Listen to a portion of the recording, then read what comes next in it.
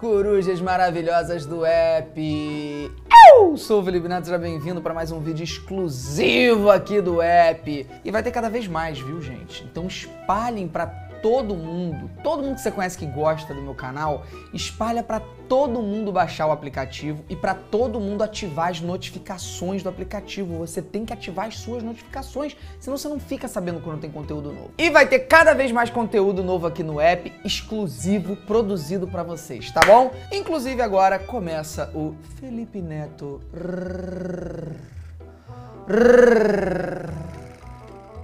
Responde!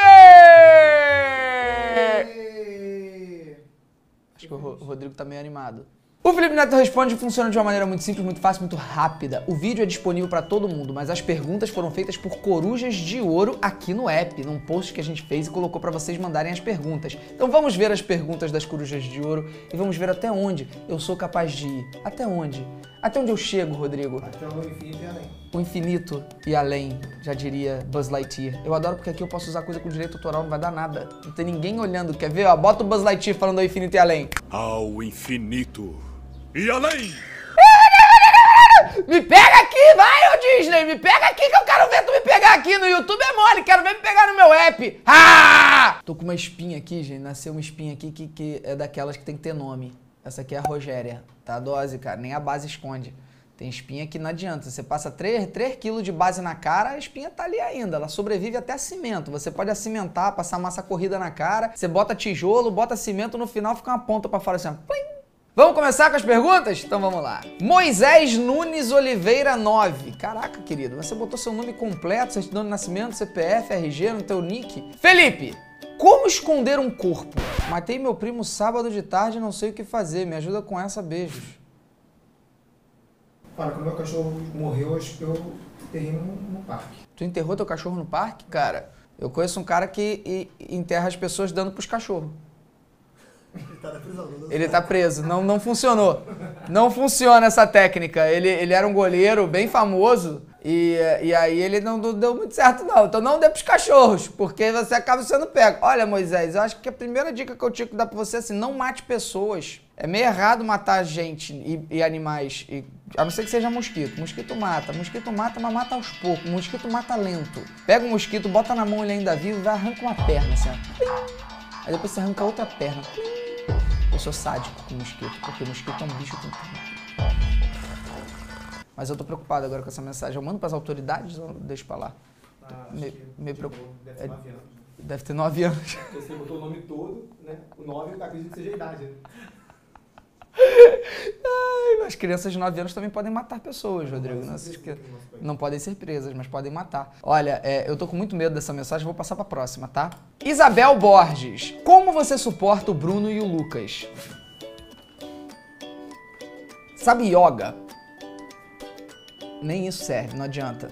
Nada do que eu faça o negócio é eu esquecer completamente que eles existem nos momentos de prazer da minha vida. O Bruno, o Bruno, o Bruno é complicado porque o Bruno, gente, assim, vocês falam assim: "Ah, você maltrata o Bruno". Eu não maltrato o Bruno. O Bruno é muito bem tratado, mas o Bruno, ele parece uma criança de 8 anos. E o Bruno às vezes fala uns negócios que você fica, Bruno, mas não é possível, Bruno que dá aquela raivinha, por exemplo, esses dias lá no, no avião, o que, que ele falou, o, o Gabriel? Kevin Spacey, eu acho que ele sabia quem era. Ele não sabia quem era o Kevin Spacey. Mas aí até aí tudo bem, mas ele falou um outro negócio, ele falou um outro negócio no avião, cara.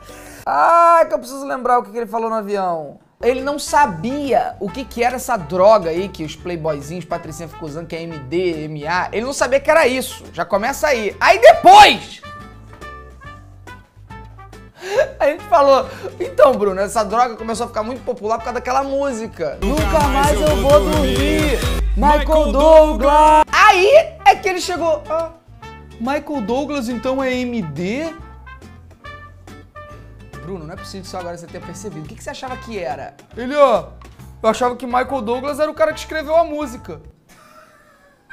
Mano, ele não só não sabia o que, que era MD, ele não sabia quem é Michael Douglas. É tipo, ele não sabe. Você chega, Bruno, tudo bom? É, é, compra ali uma revista pra mim e vai perguntar: o que, que, que, é revista? Ele não sabe coisas básicas, ele só entende videogame. Isso às vezes irrita incomoda, entendeu? Muito mais que o Lucas. Nick Lemesre. Você tem saudade de morar com a sua mãe? Cara, eu amo minha mãe. Mais do que tudo nessa vida, eu amo minha mãe. Mas morar com mãe é difícil. Mãe é bom em doses homeopáticas. Né? Mãe e pai também. Por quê? Porque quando convive, convive é um negócio difícil. Seja mãe, irmão, vó, todo mundo, conviver junto, até mulher, esposa é difícil. Então a gente, eu e minha mãe morando juntos, a gente acabava brigando. Ah, os dois são muito ah, emocionais, muito. Ah, então a gente brigava. Quando não mora junto, é uma paz. Toda vez que minha mãe vem aqui, é tão, sabe, fofinho, eu abraço minha mãe, tudo bom, mãe? A gente vai ficar junto, agora vai embora, mãe. Aí volta, mãe. Agora vai embora, mãe. Então, em doses homeopáticas, mãe é a melhor coisa da vida. Mas quando é todo dia, quem mora com mãe sabe, né, gente? É difícil achar alguém que mora com a mãe que fala amo morar e viver todo dia com uma mãe. É difícil. Olha o Rodrigo se entregando aqui. Tua mãe vai ver o vídeo, hein, Rodrigo? Ela sabe que é insuportável. Ela sabe que é insuportável.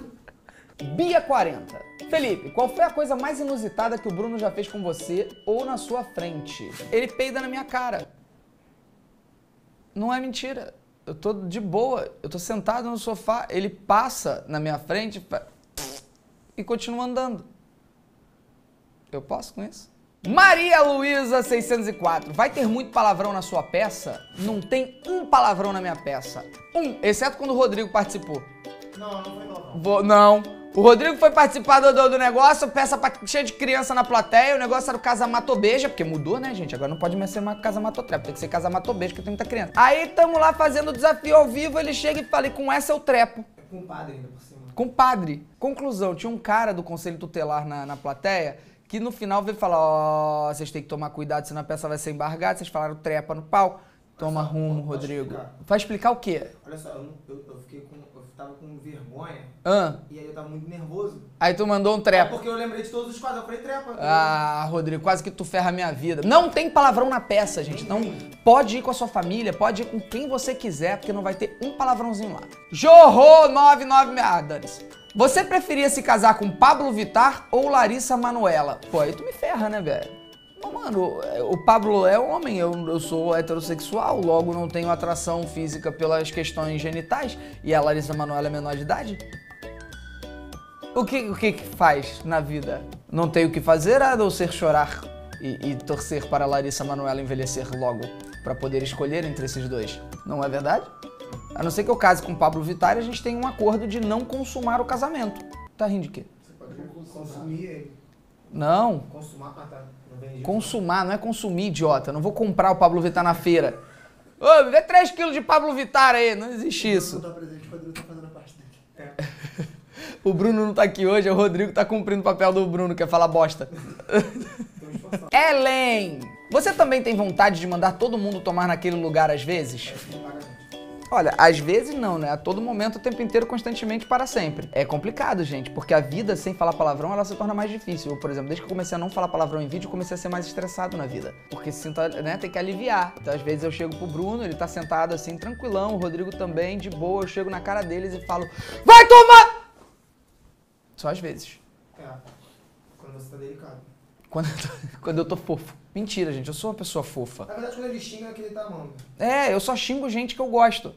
Eu não xingo ninguém que eu não gosto. Porque quando eu não gosto, eu cago pra existência da pessoa. Love Alves 45. Se você fizer um pacto com o demônio para ir para o céu, você vai para o céu ou para o inferno? Pô, essa é que nem aquela do Pinóquio, né? Se o Pinóquio chegar e falar assim, eu vou mentir agora, o mundo explode.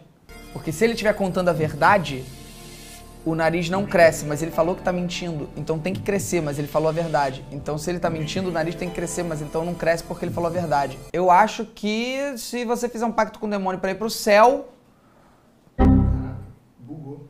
olha, mano, Nem, não tem pulseirinha? Eu vou fazer, eu vou perguntar pra ele e volto aí pra responder. Lucas K, o que é fio terra?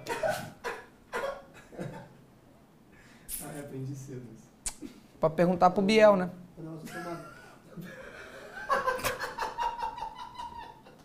É Biel é o é o primo que eu tenho, entendeu? É o Biel. É um primo, ele mora ali em Jacarepaguá. Se você é criança, fio terra é aquele quando tem uma tomada de três plugs assim, um, tá, sabe? Um deles é o terra. Esse é que é um não serve pra nada. Porque no, no Brasil não, não existe. Não, não funciona. É sério. É literalmente inútil. A gente só usa dois plugs, mas eles fazem com três, que é só pra ferrar nossa vida. Então fique só com essa informação mesmo, tá, Lucas? E, e boa sorte ao descobrir. Bia19. Felipe, eu não entendo uma coisa. Por que, que você forma a equipe com o Bruno se você é magro? Devia formar com o Luiz e o Bruno com o Lucas. Por que é assim? É verdade, cara! O time tinha que ser. Ah, é porque fica o gordo e o magro, tá, tá certo. Gente, vocês têm que entender que há contraste na vida, né? O que seria do bem se não fosse o mal? O que seria do gordo se não fosse o magro? O que seria do feio se não fosse o bonito? Então, nesse caso, eu preciso compor com o Bruno pra poder ficar o gordo e o magro, e o Lucas com o Luiz pra poder ficar o gordo e o magro. Tá vendo? Filosofia, gente. Filosofia. Eu espero que vocês tenham se divertido. Não esquece de. Não tem que se.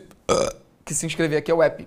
Não se esquece de falar para todos os seus amigos baixarem o app e ativem as notificações no seu celular para você saber quando tem vídeo e quando tem live também. Senão você nunca vai saber. Tem que estar com as notificações ativadas. Tá bom? Valeu, galera do app. Um beijo e em breve vai ter outro Felipe Neto Responde respondendo as perguntas das corujas de ouro. E se você quiser ser uma coruja de ouro, lembre, é só ir aqui embaixo no menu, apertar no menuzinho, clicar em assinar que você pode virar uma coruja de ouro, tá bom? Beijo! Valeu!